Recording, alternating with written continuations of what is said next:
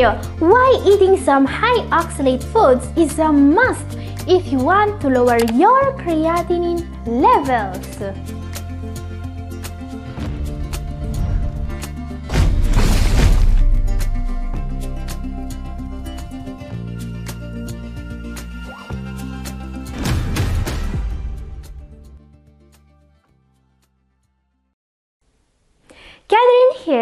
I've been helping people lowering their creatinine levels for more than 10 years now. And today, we are going to unveil one of the biggest lies about the correct way of eating for people with renal problems. Many of you have been told to avoid foods that are high in oxalate because they are bad for the precious filters of the body. And that's just plainly wrong. Science is very clear on this. You need more fruit and vegetables if you want to stop the decline of GFR. Now, if you have been following a wrong way of eating until now, don't worry, we can still undo some of the damage and we can still improve your diet. And as a plus, you will be able to enjoy many tasty foods again knowing that they are good for you. Now guys, as usual, please consult your nephrologist before making any significant change to the way you eat. And also watch this whole video because there are certain people, albeit a small number, that are actually very sensitive to oxalate. They should not eat high oxalate foods without also following the simple tricks I will share with you in this video. We will see who should be careful with oxalate in a moment. Before that, a very important question. Why is oxalate supposed to be dangerous for you? Oxalates, also known as oxalic acid, are naturally occurring plant compounds. Some people call them anti-nutrients, but they are not as bad as they want you to believe. We eat oxalate in food basically every day. And also very important, our bodies do make oxalate. There are also vitamins that create oxalate and vitamins that help getting rid of them. Now, and this is crucial to understand why avoiding high oxalate foods is not the right strategy for most people. The thing about oxalate is that this compound is not stable on its own in the body. Once in the body, oxalate will want to bind to minerals before it's excreted. That's what makes it an anti-nutrient.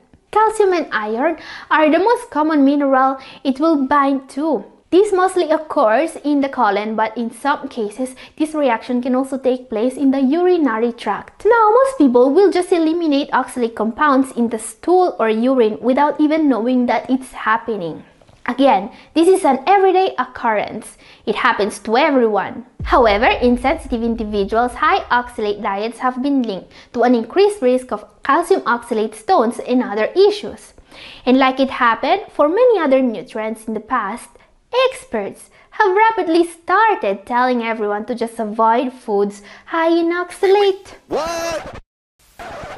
And that's just plainly wrong. What most experts don't know is that about half of the oxalate found in urine is produced by the body rather than absorbed from food. And guys, there's a reason why I tell you not to avoid high oxalate foods unless you really have to. Let's see it. This is a large study focused on stopping and reversing the progression of kidney function decline through the correct way of eating. This study saw people in stage 4 completely stopping the progression of GFR decline. Some even reversed advanced stages CRF, all thanks to a way of eating that was richer in fruit and vegetables and researchers made sure not to discriminate among vegetables. There were no forbidden fruits here. So despite what some experts say, eating more fruits and vegetables, even those rich in oxalate, may directly lead to a better GFR. The reason why will become clearer when we take a look at what foods are actually the highest in oxalate. Spinach is always on top of the list when it comes to oxalate, but the thing about spinach is that this really is a superfood. Spinach is so alkaline it directly protects the precious filters of the body by reducing the acid load. And also, beets. Despite being fairly high in oxalate, beets have been directly linked to a better GFR. They are also rich in nitric oxide. They may even fight hypertension. Consuming beets regularly means that the artery walls are going to be less stiff, says science. And also, almonds. Almonds are so rich in magnesium that restricting them is definitely a mistake. And magnesium is a common deficiency in those with CRF that can cause hypertension and inflammation. You really want as many magnesium-rich foods as you can if you want to improve your GFR. Another food rich in oxalate is rhubarb. Despite being one of the highest foods in oxalate, rhubarb is also a nutrient powerhouse. It's rich in many vitamins and fiber and contains compounds that are known to fight inflammation. Now, as we can see, most foods with oxalates are really, really good for the precious filters of the body. Some proponents of the low oxalate diet say people are better off not consuming foods rich in oxalates, but it's clear looking at this list that they are wrong. Many of these foods are the best sources of important antioxidants, fiber, and other nutrients. You are not going to improve if you remove all these foods. And we should also consider that the body produces more oxalate than it gets from foods.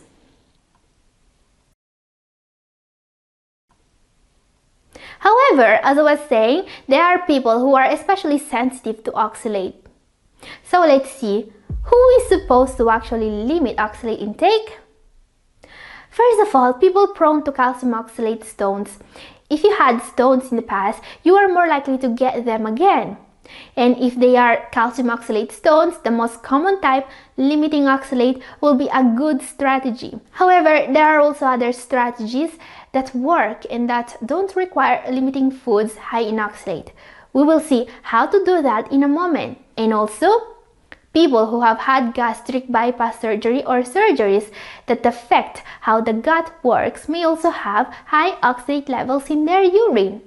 So if you have gut dysfunction or take antibiotics, you may want to avoid high oxalate foods. Now also, those that have to limit their water intake due to the stage of CRF they are in may be recommended to follow a low oxalate diet.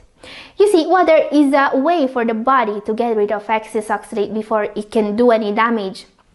Reducing water intake puts you more at risk but for most people, the benefits of nutrient-dense high oxalate foods far outweigh their risks. Therefore, it's not a good idea for most people to completely stop eating high oxalate foods. Today, most urologists only give a strict low oxalate way of eating to people who have high levels of oxalate in their urine.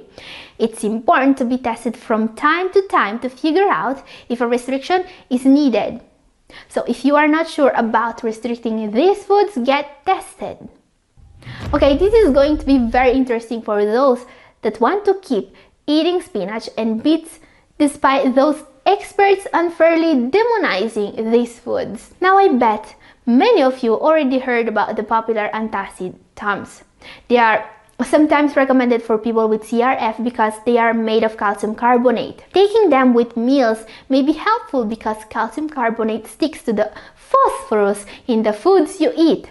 The phosphorus is then removed through the bowel, effectively stopping your body from taking extra phosphorus in. But there is more.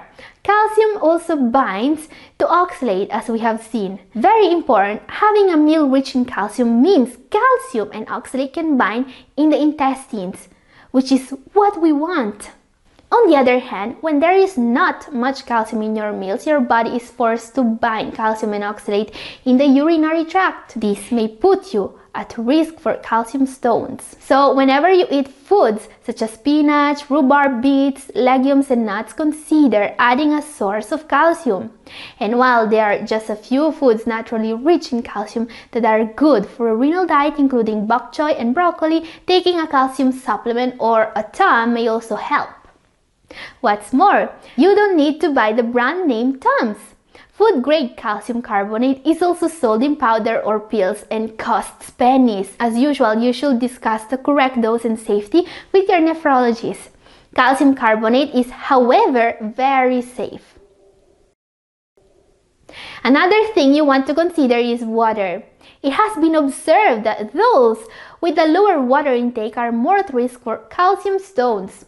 Always drink plenty of water. Aim for a minimum of 2 liters daily. If you have had calcium stones in the past, drink enough to produce at least 2.5 liters of urine a day. Now guys, I hope this clarifies how to avoid the dangers linked to oxalate without renouncing to many superfoods.